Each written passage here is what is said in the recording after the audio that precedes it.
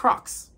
The shoes made for toddlers that adults like to wear.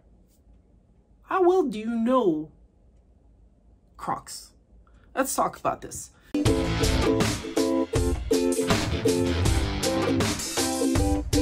Hey guys, Han here from Where the Helicopter Meets Papa Bear. It's the Helicopter Bear, and today we're to start a new segment called Things About Brands.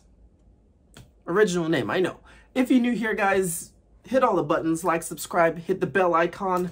Uh, I'm still gearing to give away these. Uh, these are Air Jordan Retro 5s. All you have to do is hit the uh, subscribe button, bell icon. You're going to be entered in a drawing. So, let's get into this new segment. Um, what did I call it?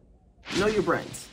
Basically, each and every week, I am going to kind of go into uh, background on different brands because as because as resellers, when you're doing research and stuff, it's kind of nice to know the origin of this brand that is actually selling well for you. So today, first one, let's talk about Crocs.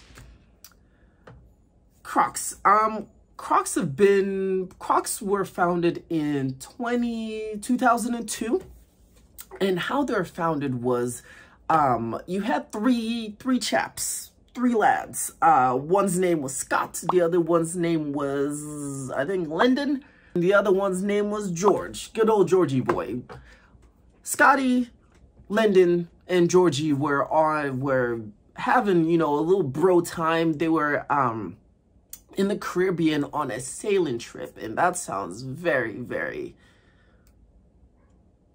Yeah, that sounds like some straight up like white guy stuff that's happening. But, you know, they were all on this, um, they were all on this kind of like sailing, sailing type of, you know, trip, you know, broing out and stuff, been like, hey, boys just want to have fun. And they come across these new boating shoes um, and these boating shoes were made from um, a Canadian company of just it, it makes sense now. It makes sense.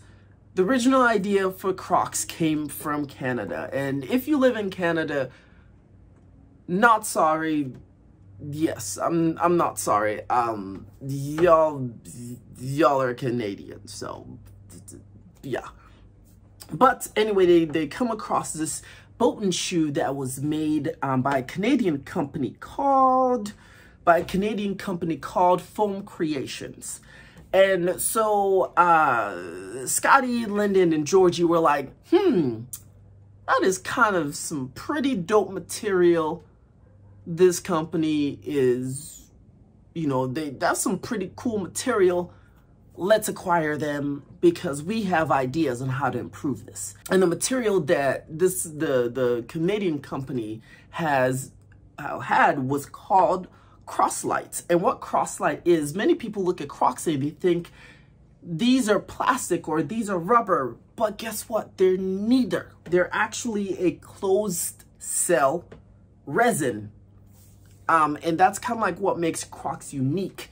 And another fun fact, it takes about 1.6 uh, kilowatts to actually create a pair of Crocs. So no matter how much I hate them, they're actually very, very like energy efficient.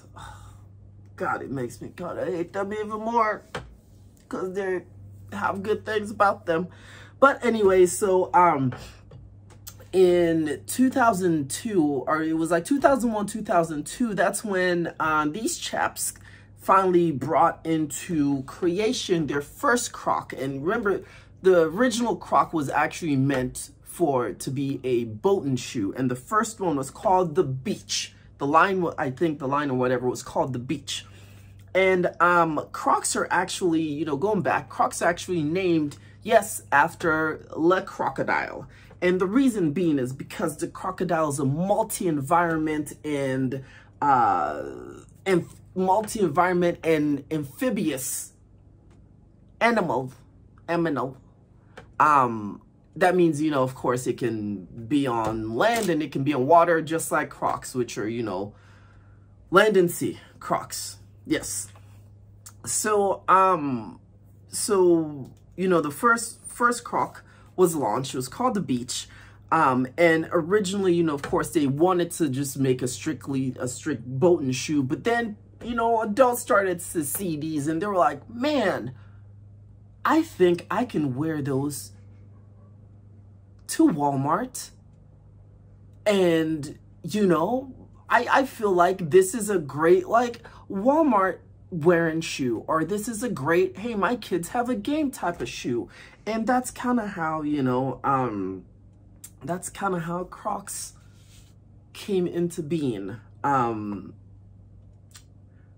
before i finish this of course um because because ever since then crocs have kind of like dominated um the non-athletic wear type of shoe um, even even during the pandemic, I think Crocs, uh, they, I mean, of, of course, it's a billion dollar company, but during the pandemic, they, I think, were up by 12% because, you know, people were home and they were like, I want to be comfortable. So sweats, you know, uh, for guys, you know, on that gray sweat gang, that was me, um, but no Crocs.